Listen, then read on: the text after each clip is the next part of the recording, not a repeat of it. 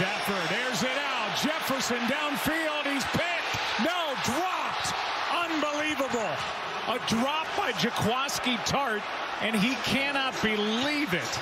Uncontested, right into his chest, had it and lost it. There was a hush that came over this stadium. Jaquiski Tartt.